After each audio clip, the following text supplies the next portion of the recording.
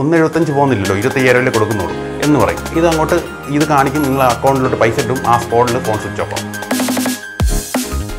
Hello friends നിങ്ങൾ O L X വഴി എന്തെങ്കിലും സാധനങ്ങൾ വാങ്ങാനോ അല്ലെങ്കിൽ വാങ്ങിക്കാൻ ഉദ്ദേശിക്കുന്ന ആളാണോ? അതായത് കാറോ ബൈക്കോ അതേപോലെ എന്തായാലും ആയിരം രൂപ തൊട്ട് പത്ത് ലക്ഷം രൂപയുള്ള സാധനം. അങ്ങനെയാണെങ്കിൽ നിങ്ങൾ ഈ വീഡിയോ കാണാതെ പോകരുത്. കാരണം വെച്ചാൽ ഒരുപാട് തട്ടിപ്പുകൾ ഇപ്പോൾ എക്സിൽ നടക്കുന്നുണ്ട്. മുൻപൊക്കെ വലിയ വലിയ നഗരങ്ങളായ ഹൈദരാബാദ് മഹാരാഷ്ട്ര കർണാടക ഇവിടെയൊക്കെയായിരുന്നു കൂടുതൽ. ഇപ്പോൾ നമ്മുടെ കേരളത്തിലും വ്യാപകമായിട്ടുണ്ട്. ചെറിയൊരു അശ്രദ്ധ കൊണ്ടും ചെറിയ നമ്മൾ ആ സമയത്ത് നമ്മുടെ ഒരു ആങ്സൈറ്റി കൊണ്ടും അല്ലെങ്കിൽ അപ്പോഴെ കിട്ടുന്ന ഒരു സന്തോഷം കൊണ്ടും പറ്റിപ്പോകുന്നൊരു അബദ്ധമാണ്. ഒ എൽ എക്സിൽ പ്രധാനമായിട്ടും നമുക്ക് വാങ്ങിക്കാനും പറ്റും വിൽക്കാനും പറ്റും. ഇത് രണ്ടിടത്തും അവരുണ്ട്. നമ്മുടെ ചെറിയൊരു അശ്രദ്ധ മതി നമ്മുടെ ബാങ്ക് അക്കൗണ്ട് കാലിയാക്കി അവർക്ക് പോകാൻ. അപ്പോൾ നമുക്ക് ടോപ്പിക്കിലോട്ട് കിടക്കാം. ആദ്യം തന്നെ അവരെങ്ങനെയാണ് പരസ്യം ഇട്ട് അതായത് ഒരു വ്യാജ പരസ്യം ഇട്ട് അല്ലെങ്കിൽ ഒരു ഫ്രോഡ് പരസ്യം ഇട്ട് എങ്ങനെയാണ് പറ്റിക്കുന്നതെന്ന് നോക്കാം. ഞാനിപ്പോൾ ഉദാഹരണമായിട്ട് ഇവിടെ പറയാൻ പോകുന്ന പരസ്യം കാറിനെ പറ്റിയാണ് അവർ ഇപ്പം പണ്ടൊക്കെ വലിയ വലിയ എമൗണ്ടാണ് നോക്കിയിരുന്നത്. അവർക്ക് ഇപ്പോൾ അഞ്ഞൂറ് രൂപയെങ്കിൽ അഞ്ഞൂറ് രൂപ ആ രീതിയിൽ എത്തിക്കുകയാണ് ഇതെങ്ങനെ ഒഴിവാക്കാമെന്നുള്ള ഒരു നാല് പ്രധാനപ്പെട്ട പോയിന്റ് ഞാൻ അവസാനം പറയുന്നുണ്ട്. അപ്പോൾ നിങ്ങൾ വീഡിയോ എന്തായാലും ഉറപ്പായിട്ടും ഫുള്ള് കാണണം. എങ്കിലേ ആ നാല് കാര്യം കൂടെ കേൾക്കാൻ പറ്റൂ. അപ്പോൾ ആദ്യം നമുക്ക് അവരെങ്ങനെയാണ് പരസ്യം ഇട്ട് നമ്മളെ പറ്റിക്കുന്നതെന്ന് നോക്കാം. ആദ്യം തന്നെ ഞാൻ കാറിന്റെ കാര്യമാണ് എടുക്കുന്നത് കാറല്ല ഏത് ഏത് പരസ്യമായാലും അവരിടും. ചിലപ്പോൾ അവർക്ക് പൈസ കിട്ടുന്നത്. ചെറുതായാലും വലുതായാലും കിട്ടുന്ന പൈസ കിട്ടുന്ന ഏത് വകുപ്പും അവർ ഉപയോഗിക്കും. അതുകൊണ്ട് ഞാനിപ്പോൾ തൽക്കാലം കാറിന്റെയാണ് ഞാൻ കൂടുതലുള്ള കാറ്. അത് സ്വിഫ്റ്റൊക്കെയാണ് അത് ഏത് കാറും ആവാം. അത് കണക്ക് തന്നെയാണ് ബുള്ളറ്റും. അപ്പം ഞാൻ കാറിന്റെ കാര്യം പറയാം. ആദ്യം നമ്മൾ പരസ്യം കാണുന്നു. അപ്പം സ്വാഭാവികമായിട്ടും മാർക്കറ്റ് വില ഇത് ഏകദേശം ഒരു മൂന്ന് ലക്ഷം രൂപ വിലയുള്ള സ്വിഫ്റ്റ് ആണെങ്കിൽ അവർ മാർക്കറ്റ് വില നമ്മളെ നമ്മൾ അട്രാക്ട് ചെയ്യാൻ വേണ്ടി ഒരു അറുപത് ശതമാനം വിലയൊക്കെ താത്തിയായിരിക്കും അവർ ഇടുന്നത്. അറുപതല്ല നാൽപ്പത് ശതമാനം. അതായത് ഇപ്പം ഒരു മൂന്ന് ലക്ഷം രൂപ സ്വിഫ്റ്റ് ആണെങ്കിൽ അവരൊരു രണ്ട് അല്ലെങ്കിൽ ഒരു ഒന്ന് ഒന്ന് എഴുപത്തഞ്ച് ഈ റേഞ്ചിടും അപ്പോഴേക്കും നമുക്ക് കാണുമ്പം ആ കൊള്ളാലോ. ആൾട്ടോ നോക്കി നടന്ന് നമുക്ക് പെട്ടെന്ന് സ്വിഫ്റ്റ് ആൾട്ടോയുടെ വിലയ്ക്ക് സ്വിഫ്റ്റ് കിട്ടുമെന്ന് പറഞ്ഞു അപ്പോഴേ മൈൻഡിലൊരു ഒരു സന്തോഷം തോന്നി തുടങ്ങും. കോണ്ടാക്ട് ചെയ്യുമ്പം സംസാരിച്ച് തുടങ്ങുന്നു. അപ്പോഴേക്കും സംസാരിച്ച് വരുമ്പോൾ ആൾ സ്ഥലത്തില്ല വണ്ടിയും സ്ഥലത്തില്ല. ആൾ പറയുന്നത് വെച്ച് കഴിഞ്ഞാൽ ആർമിക്കാരനാണ് അയാൾ ഇവിടെ ഏതെങ്കിലും ഇപ്പം ഇവിടെ പാങ്ങോട് മിലിറ്ററി ക്യാമ്പിലോ അത് കണക്ക് എവിടെയെങ്കിലും വർക്ക് ചെയ്തുകൊണ്ടിരിക്കുകയായിരുന്നു. അപ്പോൾ അവിടെ നാട്ടിൽ ഉപയോഗിക്കാൻ മേടിച്ച വണ്ടിയാണ്. വണ്ടിയുടെ പടവും നമ്പറും എല്ലാം കാണും. ആർ സി ബുക്ക് എല്ലാം കാണും. ഇതിലെ വാങ്ങിച്ച് കുറച്ചുകൾ കഴിഞ്ഞപ്പോഴേക്കും അതിർത്തിയിൽ യുദ്ധം തുടങ്ങി അങ്ങോട്ട് പോയി. അപ്പോൾ അവിടെ സ്റ്റക്കായി കാറിൽ പോയി. എനിക്കിപ്പോൾ വണ്ടി അവിടെ ഉപയോഗിക്കാൻ ആവശ്യമില്ല അതുകൊണ്ട് വിൽക്കുകയാണ് അത്യാവശ്യമായിട്ട് വിൽക്കുകയാണ് എന്നൊക്കെ പറയും. അപ്പോൾ നിങ്ങൾ സ്വാഭാവികമായിട്ടും ഓക്കെ ആ ആർമി പേഴ്സൺ ആണല്ലോ അപ്പം വലിയ പ്രശ്നം കാണത്തില്ല എന്നൊക്കെ പറയും. ഓക്കെ. അപ്പോൾ ഈ വണ്ടിയുടെ ഫോട്ടോ ഓവറോൾ നിങ്ങൾ കാണുമ്പോഴേക്കും ഇഷ്ടപ്പെടും. കാരണം അത്രയ്ക്ക് അട്രാക്റ്റീവ് രീതിയിലാണ് അത് ചെയ്തു വെച്ചേക്കുന്നത്. നല്ല ഷൈനിങ്ങും അകമൊക്കെ നല്ല ക്ലീനും എല്ലാ കാര്യങ്ങളും. അപ്പോൾ നിങ്ങൾക്ക് വണ്ടി ആ മാത്രമല്ല ഇത്രയും ലാഭത്തിന് കിട്ടുമ്പോൾ നിങ്ങൾ കൂടുതലൊന്നും തിരക്കാനും നിൽക്കത്തില്ല. ഓക്കെ വണ്ടി കൊള്ളാം എങ്ങനെയാണ് മേടിക്കുന്നതാണെങ്കിൽ എങ്ങനെയാണെന്നൊക്കെ ചോദിക്കുമ്പോൾ അവർ പറയും. നിങ്ങളൊരു കാര്യം ചെയ്യൂ നിങ്ങൾ ഫുൾ എമൗണ്ട് ട്രാൻസ്ഫർ ചെയ്ത് തരൂ. എനിക്ക് വരാൻ പറ്റത്തില്ല ഞാൻ ഇങ്ങനെയാണ്. അപ്പം നിങ്ങൾ ഫുൾ എമൗണ്ട് ട്രാൻസ്ഫർ ചെയ്ത് തരൂ. ഞാൻ വണ്ടി കൊറിയർ തരാം. അതിപ്പോൾ എന്താണെങ്കിലും അവർ കൊറിയർ തരും. ഷിപ്പ് ആണെങ്കിലും കൊറിയർ തരാമെന്നാണ് പറയുന്നത്. ഇന്ത്യൻ ആർമിയുടെ ഒഫീഷ്യൽ കൊറിയർസ് ഇത്. അതിന്റെയൊക്കെ സ്ലിപ്പ് അയച്ചു തരും. ഇന്ത്യൻ ആർമിയുടെ ഒറിജിനൽ ഇതിൽ കൊറിയർ സർവീസ് വഴിയൊക്കെ അയക്കാം. അങ്ങനെയൊക്കെ ഉണ്ടാകുന്ന തന്നെ അറിയില്ല എന്നൊക്കെ പറയും. അപ്പം നിങ്ങൾ സ്വാഭാവികമായിട്ടും നിങ്ങൾ ചിന്തിക്കും അയ്യോ അത്ര എമൗണ്ട് അയച്ച് പൈസ വന്ന് അയച്ചു കഴിഞ്ഞാൽ വണ്ടി കിട്ടിയില്ലെങ്കിലോ എന്ന് ചോദിക്കുമ്പോൾ അവർ പറയും ഓക്കെ നിങ്ങൾ നിങ്ങൾക്ക് ടെൻഷൻ ആണെങ്കിൽ എന്റെ ഐ ഡി പ്രൂഫ് എല്ലാം നിങ്ങൾ അയച്ചു തരാമെന്ന് പറയും.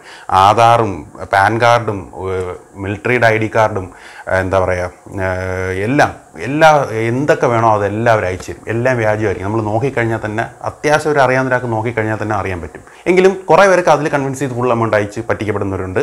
ചിലർ വീണ്ടും അയ്യോ അത് ശരിയാവില്ല ഇത് അയച്ചു കഴിഞ്ഞാൽ ഇത്രയും വലിയ എമൗണ്ട് അല്ലേ? അപ്പോൾ പറയും ഓക്കെ നിങ്ങളൊരു കാര്യം ചെയ്യുക. ഒരു അഡ്വാൻസ് എമൗണ്ട് ചെയ്യുക ഞാൻ അവിടുന്ന് ഇപ്പം ഒന്നേ മുക്കാൽ ലക്ഷം രൂപയാണെങ്കിൽ ഇരുപത്തി ഇരുപത്തയ്യായിരം രൂപ അഡ്വാൻസ് ചെയ്യുമെന്ന് പറയും. എങ്കിലും ഞാൻ അവിടുന്ന് ഇത് നിങ്ങൾ അവിടുന്ന് കൊറിയർ ഓഫീസിൽ ചെന്ന് എല്ലാം ഒപ്പിട്ട് നിങ്ങൾക്ക് ഞാനിത് കാണിക്കുമ്പോൾ അതായത് കൊറിയർ അയക്കുന്നതിന്റെ റെസിപ്റ്റ് കാണിക്കുമ്പോൾ നിങ്ങൾ എനിക്ക് ട്രാൻസ്ഫർ ചെയ്ത് തന്നാന്ന് പറയും. അപ്പോൾ നിങ്ങൾ സ്വാഭാവികമായിട്ട് ഓക്കെ സമ്മതിച്ചു കൊടുക്കും. അപ്പോൾ ചെന്ന് ഫോട്ടോ ഒക്കെ നോക്കുമ്പോൾ കറക്റ്റ് ഇന്ത്യൻ ആർമിയിൽ നിന്നൊക്കെ അടിച്ച് വെച്ച് ഒറിജിനൽ കൊറിയറിന്റെ സീലൊക്കെ അടിച്ച് വെച്ച് ഒറിജിനലൊന്നും എല്ലാം വ്യാജം. അങ്ങനെ കൊറിയർ ഉണ്ടാകുന്ന തന്നെ അറിയത്തില്ല. അതെല്ലാം കാണിക്കുമ്പോഴേക്കും നിങ്ങൾ ഇരുപത്തയ്യായിരം രൂപ അയച്ചു കൊടുക്കും. സംഭവം എന്ന് പറഞ്ഞാൽ ഇവരുടെ ലക്ഷ്യം ഈ ഒന്നര ഒന്നര ലക്ഷമോ ഒന്നേ മുക്കാൽ ലക്ഷമോ അല്ല. അവർക്ക് ഇരുപത്തയ്യായിരം രൂപയാണ് ലക്ഷ്യം. അത് ആദ്യം അവർ ഒന്നര ലക്ഷയ്ക്ക് ശ്രമിച്ചു നോക്കും. അതും കിട്ടില്ല ഇരുപത്തയ്യായിരം കൊണ്ടു. അപ്പോൾ നിങ്ങൾ നോക്കുമ്പോൾ വിചാരിക്കും ഓക്കെ കൊള്ളാമല്ലോ ഇരുപത്തയ്യായിരം രൂപ അടയ്ക്കുമ്പോൾ അവർ വണ്ടി അയച്ചു തരുന്നു നമ്മൾ നാട്ടിൽ ഇപ്പോൾ സേഫാണല്ലോ നമുക്ക് ഒന്ന് എഴുപത്തഞ്ച് പോകുന്നില്ലല്ലോ. ഇരുപത്തയ്യായിരം രൂപ കൊടുക്കുന്നുള്ളൂ. എന്ന് പറയും. ഇത് അങ്ങോട്ട് ഇത് കാണിക്കും. നിങ്ങൾ അക്കൗണ്ടിലോട്ട് പൈസ ഇട്ടും ആ സ്പോട്ടിൽ ഫോൺ സ്വിച്ച് ഓഫ് ആവും.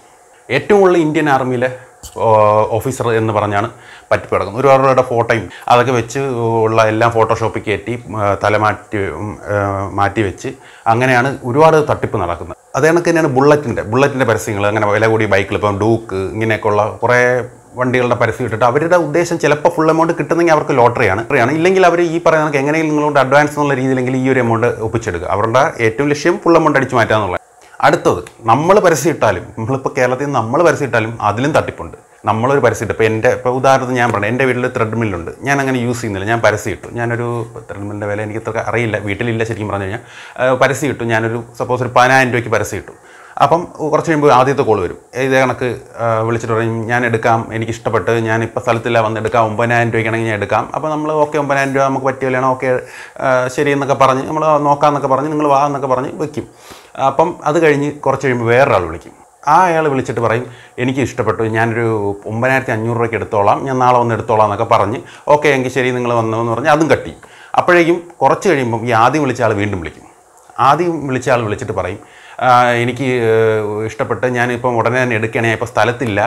എനിക്ക് ഉടനെ വേണം എനിക്ക് ഇഷ്ടപ്പെട്ടെന്ന് പറഞ്ഞൊക്കെ വിളിക്കും. അപ്പോഴേക്കും പറയും ഇങ്ങനെ അല്ലയോ അല്ല. ഞാൻ പറയും എനിക്ക് ഒമ്പതിനായിരത്തി അഞ്ഞൂറ് രൂപയ്ക്ക് വേറൊരാൾ വിളിച്ച് റെഡിയായി ഇരിക്കുകയാണെന്ന് പറയും. അപ്പോൾ അയാൾ പറയും ഈ ആദ്യം വിളിച്ച ആൾ പറയും കുഴപ്പമില്ല എനിക്ക് പതിനായിരം രൂപയിലും കുഴപ്പമില്ല ഞാൻ എടുത്തോളാം. ഇപ്പം ഞാൻ സ്ഥലത്തില്ല ഞാൻ ഒരു കാര്യം ചെയ്യാം. ഞാൻ ഫുൾ എമൗണ്ട് ട്രാൻസ്ഫർ ചെയ്യാം. അതുകൊണ്ട് നിങ്ങളുടെ നിങ്ങൾ എനിക്ക് ആ യു പി ഐ നമ്പരോ അല്ലെങ്കിൽ പേ ടി എം നമ്പരോ അങ്ങനെ എന്തെങ്കിലും ഈ വാലറ്റിന്റെ നമ്പർ കൊടുക്കാൻ പറയും. ഓക്കെ അപ്പോൾ നമ്മളും ഓക്കെ അപ്പോൾ ഒരു ഒരു എന്താ പറയുക ഒരു പെട്ടെന്നൊരു ഒരു ഭയങ്കര ഫാസ്റ്റ് ആയിട്ടാണ് പ്രൊസീഡ് ചെയ്യുന്നത്. അതായത് അവർ നമുക്കൊരു ചിന്തിക്കാനുള്ളത്. വെച്ചാൽ നമുക്ക് പൈസ ഇത്രയും കിട്ടുന്നത് നമുക്ക് നമ്മൾ ഇട്ട സാധനത്തിന് ഇത്രയും വലുതാണ് അപ്പോൾ നമുക്ക് അത്രയും ചിന്തിക്കാനുള്ള ഒരു ഗ്യാപ്പ് തരാത്തുള്ള രീതിയിലാണ് അവരുടെ അവരത്രയും ട്രെയിൻഡ് ആണ്. അപ്പോൾ നമ്മൾ സ്വാഭാവികമായിട്ടും ചിന്തിക്കും ഓക്കെ എങ്കിൽ ശരി നിങ്ങൾ എനിക്കിപ്പോൾ വരാൻ പറ്റില്ല ഞാൻ അതുകൊണ്ട് ഒരു ഉറപ്പിന് വേണ്ടി നിങ്ങൾക്ക് ഇത്ര എമൗണ്ട് ഞാൻ അയച്ചു തരാം. അല്ലെങ്കിൽ ഞാൻ അഡ്വാൻസ് ഇത്ര പകുതിയെങ്കിലും അയച്ചു തരാമെന്ന് പറഞ്ഞാൽ ഓക്കെ നിങ്ങളുടെ മൊബൈൽ നമ്പർ കൊടുക്കുക.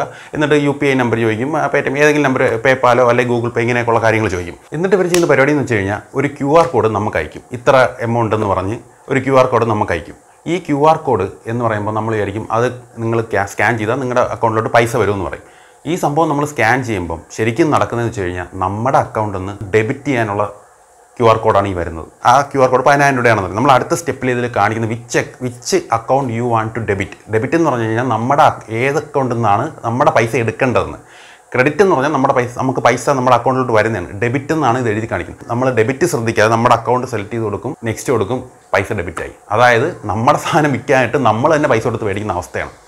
ഒന്നുകൂടെ ക്ലിയർ ആയിട്ട് പറഞ്ഞുതരാം. അതായത് ഈ സ്കാൻ ചെയ്ത് വരുന്ന അയാളുടെ പൈസ അക്കൗണ്ടിലോട്ട് പൈസ മേടിക്കാനുള്ള റിക്വസ്റ്റ് ആയിട്ടാണ് വരുന്നത്. നമ്മൾ ആദ്യം ക്യു ആർ കോഡ് സ്കാൻ ചെയ്യുമ്പോൾ കാണുന്ന പതിനായിരം രൂപയുടെ ട്രാൻസ്ഫറിങ് സംതിങ് നമ്മൾ മൊത്തം വായിക്കാതെ ഒരു വെപ്രാളത്തിൽ ആയിപ്പോവും.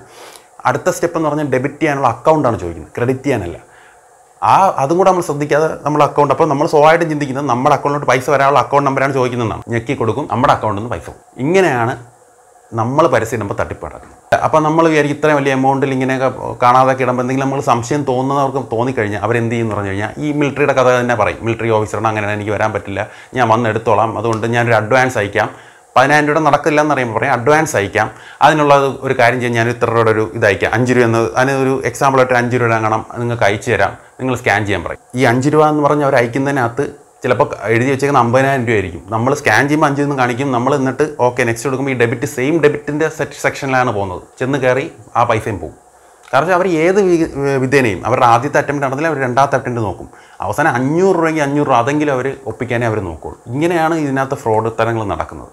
OLX എന്ന് പറഞ്ഞാൽ വളരെ നല്ലൊരു ആപ്പാണ്. കുറച്ച് സാധനങ്ങൾ ഞാനും മേടിച്ചിട്ടുണ്ട്. ഇപ്പോഴും ഇടയ്ക്ക് കയറി ഓരോ കാര്യങ്ങൾ ആവശ്യമുണ്ടെങ്കിൽ നോക്കും. യൂസർ സാധനങ്ങൾ കാറ് ബൈക്ക് എല്ലാം. പക്ഷേ ഇങ്ങനെ കുറേ തട്ടിപ്പുകളുണ്ട്. അത് ഇതിനെപ്പറ്റിയൊന്നും വലിയ അറിയാതെ അല്ലെങ്കിൽ നമ്മൾ അപ്പോഴത്തെ ഒരു വെപ്രാളത്തിൽ ചെയ്തു പോകുമ്പോൾ പറ്റുന്നതാണ്. ഒരിക്കൽ പറ്റിക്കഴിഞ്ഞാൽ പിന്നെ ആ സ്വിച്ച് നമ്പറും കിട്ടത്തില്ല ഒന്നും കിട്ടത്തില്ല.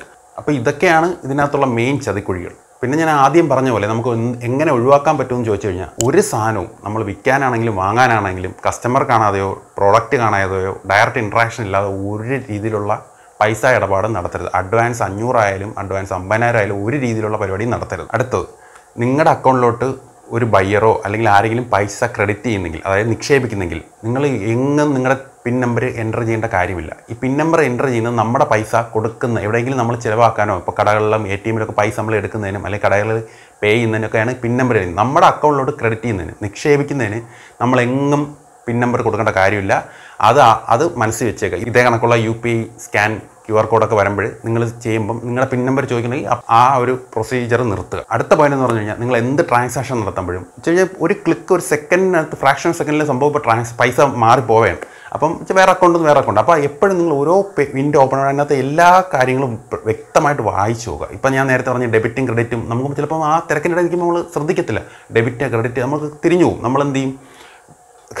ഇത് നമ്മുടെ പൈസ ക്രെഡിറ്റ് ചെയ്യാൻ വരികയാണെന്ന് പറഞ്ഞ് ഡെബിറ്റ് ഞെക്കി കൊടുക്കും.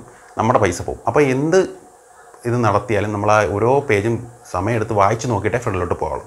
പ്രത്യേകിച്ച് ഒ എൽ എക്സ് ട്രാൻസാക്ഷൻ നടത്തുമ്പോൾ പിന്നെ ലാസ്റ്റ് എന്ന് പറയുന്നത് എല്ലാ ബാങ്കിലും എപ്പോഴും നമുക്ക് മെസ്സേജ് വരുന്നതാണ്. അതേ കണക്ക് തന്നെയാണ് എല്ലാവരും പറയുന്നതാണ്. ഒരിക്കലും നമ്മുടെ പിൻ എന്തിന്റെ ആയാലും എ ടി എമ്മിന്റെ ആയാലും യു പി ഐ ആയാലും പേ ടി എം ആയാലും എന്തിന്റെ ആയാലും പിൻ നമ്പർ ആരുമായിട്ട് ഷെയർ ചെയ്യരുത്. എന്ത് കാര്യം പറഞ്ഞു കഴിഞ്ഞാൽ ബാങ്കുകാരും വിളിക്കത്തില്ല ഒലക്സ് ആരും വിളിക്കത്തില്ല ആരും വിളിക്കത്തില്ല. ഒരു കാരണവശാലും നമ്മുടെ പിൻ നമ്പർ നാല് ഡിജിറ്റുള്ള പിൻ നമ്പർ അല്ലെങ്കിൽ നമ്മുടെ പാസ്വേഡ് ഏത് രീതിയിലുള്ള പാസ്വേഡ് ആയാലും ആരുമായിട്ടും ഷെയർ ചെയ്യരുത്. ഇത്രയും കാര്യം ശ്രദ്ധിച്ചു കഴിഞ്ഞാൽ ഒരു വിധമുള്ള ചതിക്കുഴിയിൽ പെടാതെ നമുക്ക് രക്ഷപ്പെടാം. അപ്പോൾ ഫ്രണ്ട്സ് ഇന്നത്തെ വീഡിയോ ഇഷ്ടപ്പെട്ട് കാണുമെന്ന് വിശ്വസിക്കുന്നു. എന്തായാലും ഒ എൽ എക്സിൽ എന്തെങ്കിലും വാങ്ങുമ്പോഴോ വിൽക്കുമ്പോഴോ ഈ കാര്യങ്ങളൊക്കെ മനസ്സിൽ വെച്ചേക്കുക.